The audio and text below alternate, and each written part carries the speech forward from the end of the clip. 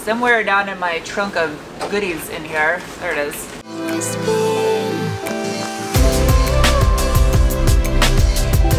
Hi, people on the internet. I'm gonna continue working on the MR2 today. Just got some parts from powder coating that are going back on the engine and if you're new and you want to get caught up, above my head is a link to when those parts came off. Fred actually picked the parts up for me this morning, so I technically have not seen them yet. I got here later in the afternoon. Ooh, they're right here. Ooh.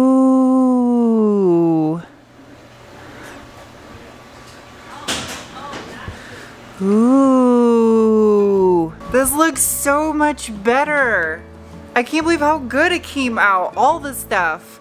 If you're near Tucson, you want to get powder coating done, the place is called Elegant Iron. I will absolutely be going back to them for more work, probably on the Ranger actually. I'm getting my greasy fingerprints all over it. I love the look of this raw sandblasted stainless right here. It's pretty. I also had them only go up to a certain point, so that way when I put the rubber couplings on there, they can create a nice tight seal. I was worried it wouldn't get a good seal on the textured stuff over here. They also machined the face of the font right here, where it says Toyota. So I want to test fit this thing right now to see how it looks in the car, because I also got a new oil cap as well. But the problem is, the new cam trigger that I bought for this thing, it, it fits kind of like an OEM cam trigger. It goes on the end of the camshaft itself rather than in the distributor port, which means this can't go on because I got to access the end of the camshaft, which really sucks because I want to put this on tonight. I can at least get an idea of how it looks though. Oh yeah. That is gonna look so good. This guy right here is my factory map sensor. I'm not going to need that anymore. And there's a spaghetti web of hoses for the map sensor. And then I got the innovative map sensor right here, which is a double redundancy. I think I can get rid of both of these and just send the signal to the new one. That way my boost gauge still works. So that means most of this crap can go away because I'm not gonna have uh, AFM anymore. It uses uh, speed density. Yay! Wait, I could just take this entire cluster off. Idle air control valve requires vacuum. I mean, it literally has air in the, the title. Is this thing bolted on down here but 10 mil? It is. Okay. How the hell am I gonna get to that hose clamp? There you go. I need to get a hose uh, plug on the backside of that. Is it a 12? It's a 12? You be kidding me. There's a 10 mil right there and there's a 10 mil right there. It's a HH60 flying overhead. Two HH60s flying overhead. Well, I don't need this thing for the plug wires anymore either, because I'm not gonna have plug wires. Soqueta. I don't know if that's actually Spanish for socket, but we're gonna go with it. No more thingamabobber. I'm brave doing that right next to an open valve cover. There's saran wrap over it. I need to take that off. Where the hell is this last vacuum hose? Oh, this is gonna be fun.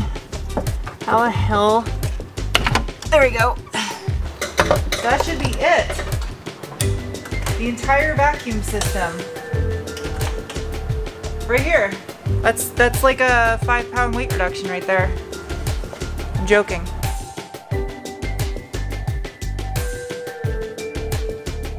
If you guys would like these project cars to get finished, I need to shut up and just work. So without further ado, let's kick off some time lapse.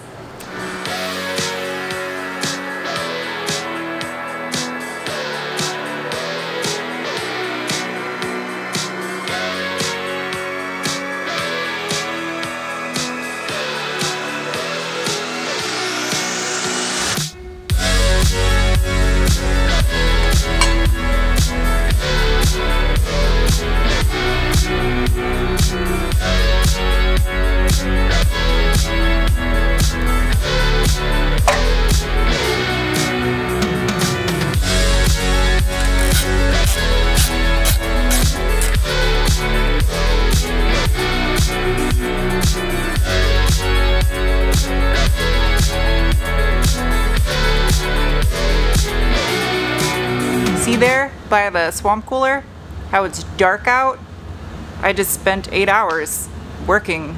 It flew by and the car is not back together. But I did get something back together I wasn't planning on getting back together. Ta-da! Valve cover is on, along with a brand new TRD oil cap, fresh from Toyota. I wasn't planning on putting this on in the beginning of the video, but the Hall effect sensor I was going to use instead is back ordered for like 45 days. So that's a no-go. I'm just gonna go with the stuff I have right now and get the car running and if I want later on I'll switch it out. Okay, so this right here is a brand new EA1 plug I got from Ballenger Motorsports and they just added on their website a bunch of MR2 plugs because I looked up every single part number for all the plugs in the factory harness and I told them just use my invoice and you can add it to the website under MR2 and now you can order all these Toyota plugs. This one I could not get. This is the other end of EA1. I got this little keychain full of depinner tools and all I gotta do is pull all these out. The level of patience you have to have to be able to do this is astounding. Oh, come on. Got it! I gotta take this double prong one and stab it in the back side, and then the single prong one and stab it in the front side. And hopefully it should come out of its hole. Haha! this is like shaving a Lego person's private parts.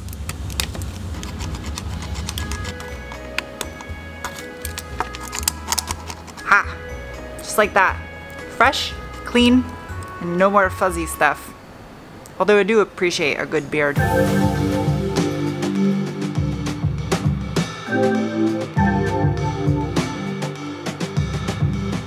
And now all of those need to get inserted into this. Hello tomorrow, welcome to tomorrow.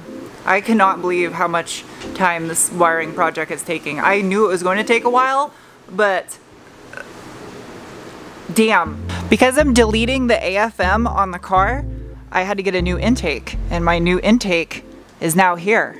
This right here is the red filter. This is the double layer oiled filter and it's red too because I don't want a Christmas car. EA1 is now fully complete. I got everything pinned and I actually added a couple extra circuits to this in empty slots. So now I'm gonna do the other end of this that will run through the rear firewall and go to their corresponding plugs, which is primarily just the cruise control and fans and AC. These three circuits right here for cruise control and uh, the clutch signal, those now just go into the EA1 plug. It made sense to have all the cruise control stuff on the same plug. I didn't want to have to route anything through the intake manifold. I'm trying to keep it as clean as possible but I don't know where else to stick the wires for the coil packs, the injectors, IACV, and TPS. There's like nowhere else to route it, so it's not that big of a bundle. Somewhere down in my trunk of goodies in here, there it is. These right here, more Toyota OEM plugs. All for those circuits I just mentioned. So, back to work. Really wish I would have thought of this yesterday when I was putting this hardware in there. Now I gotta take it back off. I'm that OCD, I literally use the torque wrench on this hardware. Put it to 36 inch pounds. Are these threaded? Wait. Oh, this is actually a really nice piece of hardware. I like the way this looks. All right, so these studs go from the underside. Yeah, just like that. That's nice. Brand new Denso coil pack. Oh, that's nice. Oh, that's so nice. Look at that. So, so good. Lock that right down. Hell yeah, dude. I love this. Wait, how the fuck? That's a trick. How do you get that? Ah, just like that. Alright. False alarm. Also, medium key. That's a real key, by the way.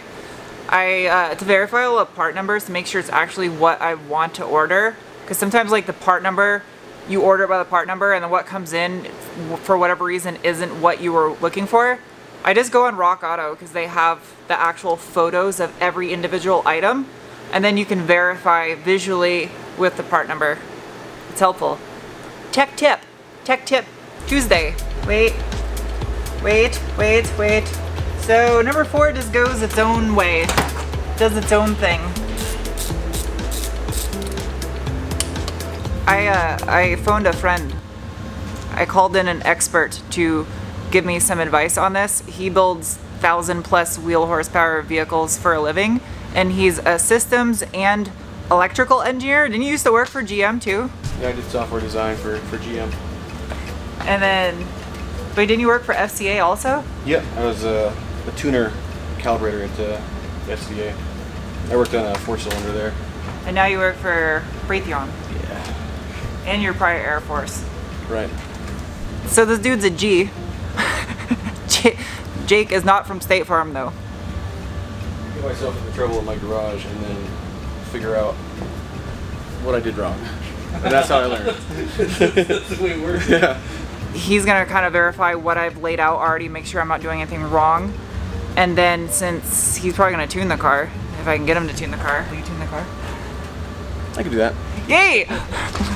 But yeah, also he's building uh, a Colorado right now. What is your Colorado? 09 Colorado has a LS3 Borg 94 millimeter nitrous methanol all my extra accessories all kinds of nonsense on it that probably shouldn't be on there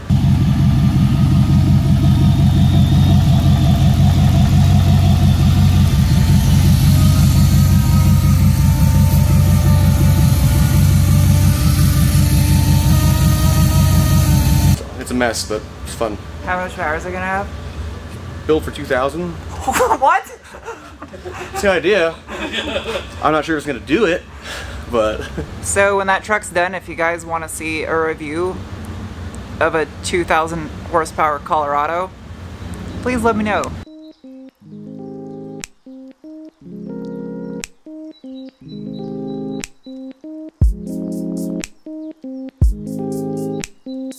I made a diagram on the dry erase board now, so I can start checking off all the circuits as I go to the stuff on the engine harness, which I have not done yet. And because Jake knows how ECUs function on the electrical engineering side, which I do not, he's letting me know stuff that I didn't even know. Like for instance, I'm gonna need some of these injector ballast resistors for my OEM injectors for the ECU to function so it won't get burnt up. So I need to get some 50 watt 4.7 ohm uh, resistors to add on my 12 volt signal. If I upgrade the injectors, which I plan on, then I'll go to, what was it like low impedance versus high impedance? sure, yeah. I mean, it, it, it has to fit the the, the rail. Um, I'll but- get a new rail too. Yeah, for but for the electrical side, you just want to make sure that you pull that resistor out and then drive it directly off the circuit, so it's high impedance doesn't load the uh, the driver as much. Okay. that idle air control valve on this thing never functioned the entire time I've had it. And he just explained to me why the car was randomly dying while I was driving. That was one of the issues I was having because the center uh, 12 volt source that goes to that circuit, the wire was broken somewhere in the factory wiring harness. And that I never got around to because it would run most of the time and then it just kind of stopped. That's why I'm doing this now. It's only a 12 volt in the center and then just two grounds and then Right. Yeah. Okay. It's, it's sort of like an H bridge, um, but but it's just like a, it's an old school stepper motor. So you put a ground to one side, and it kind of it turns the motor one way, and then put a ground to the other side, it turns it the other way. We don't know Oh. which which side is going to open and which is going to close. So and the factory ECU used to determine which one of those to close at whatever time it needed it to open right. and close it. Oh, right. okay. Yeah. This is a yes, uh, slow path uh, idle speed control, and the ECM is monitoring engine speed and uh, AC load, that kind of stuff. Um, and if you need more, if your your RPM is dropping like it was for you, uh, if it's functioning, it will give it more airflow. But for you, yeah, if with a 12 volts gun, then it uh, didn't have enough air, and that's probably what was killing the uh, engine in the parking lots. We're looking in the Lynx TO right now to see what kind of current this thing needs to make sure I don't need to run a larger gauge wire for the power supply for the ECU because from the factory it just had a 20 gauge wire that was split to two channels. Plus B and plus B1 each for 20 gauge wires. They're really one 20 gauge that split into two 20 gauge wires that went into the ECU this ECU might require more juice than the factory one which means I'm gonna have to redo a bunch of wire. Cam trig. Got these figured out and so I know how to wireless the Hall effect sensor. These are the corresponding colors on the Hall effect sensor that will connect to the Link ECU shielded wires. It is now after 9 o'clock at night. Jake just left and we got 95% of the stuff figured out. I don't know how on earth a normal person could do this because that dude is like an extremely skilled electrical engineer and there was a still a couple things where we have to dig in deeper to figure out how to wire this up. Something I have to find out tomorrow from Link is whether or not the inductive load drives have a shunt for flyback voltage. I didn't even know what the hell that meant. Luckily I had an engineer helping me, so I have to check on that. And then I am actually going to order injectors now so that way I don't need these injector ballast resistors. I like completely just lost my train of thought. I'm really hungry and tired. It's late. So there's obviously going to be another video in this. I hope someone out there is getting some value from this video. If you plan on doing a standalone on one of these SW20s, hopefully this provides useful information to you. And I think the next video I should have everything pinned, plugged, wires routed to their sensors, hooked up. So I'll stop rambling now. I'm sorry there's a lot of talking towards the end of this video, but this is a mind fuck to try to figure out this stuff and I'm not an electrical engineer. So I'll see you guys soon with another video. Bye.